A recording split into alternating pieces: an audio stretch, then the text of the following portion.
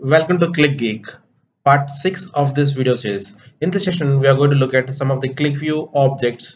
So that are statistic box, search object, and how the search mechanism works in QlikView, and uh, the current selection box. So let's switch to QlikView desktop quickly.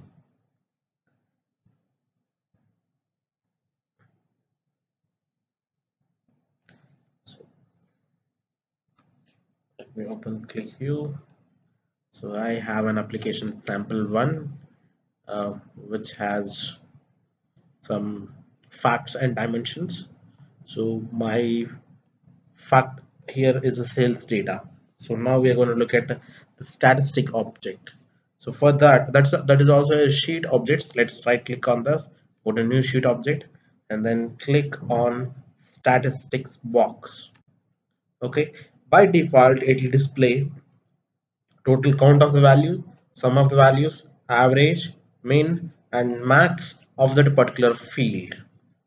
Okay, so we need to select the field first.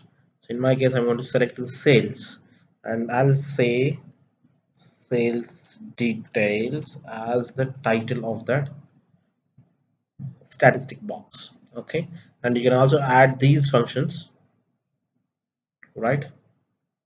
so let's press ok. Now we'll see. So I have uh, total count a thousand values. Yes we have only thousand records in there. And some of those sales is this one. Average is 220 and minimum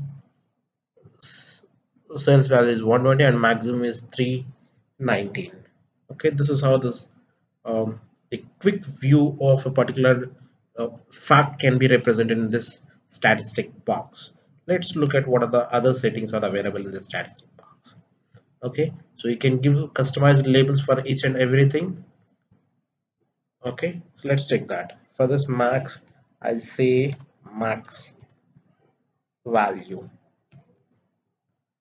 Press ok now you can see that max value right? This is how you can customize the uh, labels of displayed functions okay. And then you can uh, set the cell borders as well.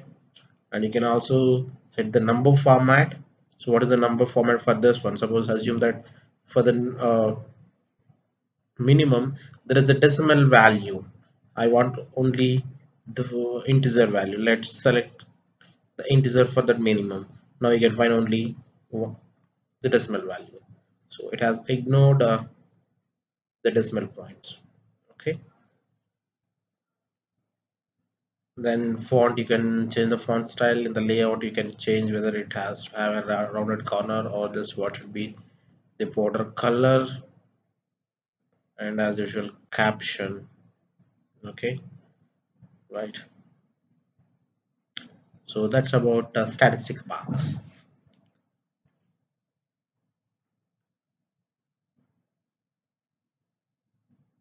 So next one is search object right? So here we have a couple of fields and as well as some data in it. Now I want to find a value and uh, I don't know in which field the value is existed okay? For that I'll create a search object. For that as well go to new sheet object and then select search object of that then you can find here all fields or list of the fields. So uh, if you want to search from list of the fields right you can specify here or else you can select the fields here. So select few fields and add them then you can search from there. So in my case i'm going to search all the fields. Assume that i want to search that has a letter h so letter h is there in four fields. It has listed all the four fields and uh, it has collapsed because it has more than 10 values. So if you want to see what are those values then expand one by click on this. So there you can find. So i want to find ho ho the ho is there in three fields product first name and last name. So this is how you can search multiple fields okay. Through search object. And you can also define in which fields the value to be searched as well. And you can define the search mechanism as well. So by default you have a default search. You can use wildcard search means we can use um, asterisk um, or anything as such. Okay fuzzy search or normal search. Right so these are the search mechanisms that we have in Qlik so along with this so suppose assume that i have a gender here and i want to search something which is related to this one. So in that case let's see. So for these genders and if anything that has if any field that has HA in the a field name so that will be searched here. This is called associative search.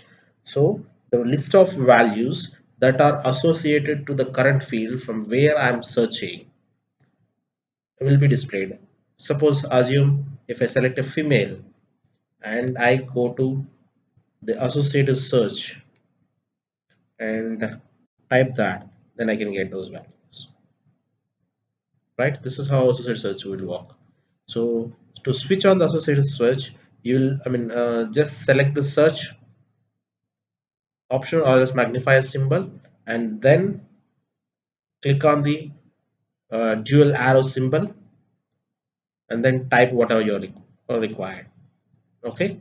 So this is how you can search the associative field values from a list box. Right? Then now I have selected female here and let me select some email as well. So in my case I have selected two field values.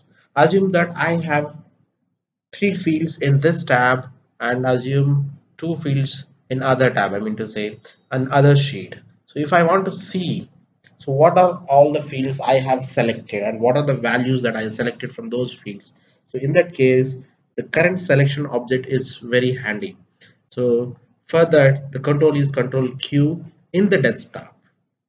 So you can see here the field and the status whether it is selected or not and uh, if it is locked then also you can see that and the values that are being selected.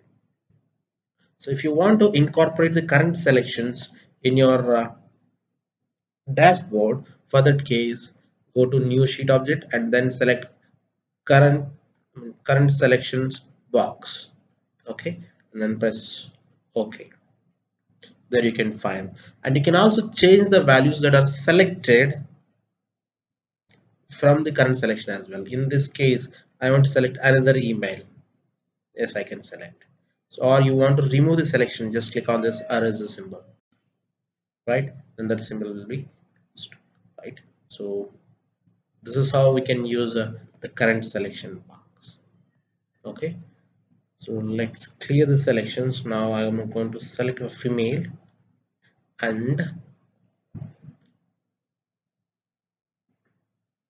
I'm going to lock this one. So how to lock this? Right click click on lock symbol. If you lock this one so even though you clear it it won't get cleared right? So the color gets blue color means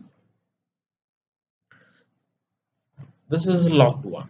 So along with green uh, blue sorry green uh, white and uh, gray color. So this is an another color that is being used in selection criteria of QlikView so if the field is get locked the selections are get locked then it will be in blue color. So just unlock right?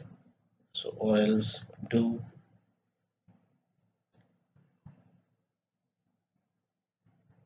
select excluded. In that case what are the values that are being uh, selected? Those will be excluded and remaining will, values will be get selected. Right?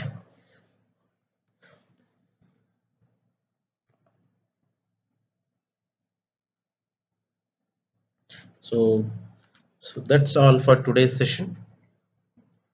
Thanks for watching the video. Please subscribe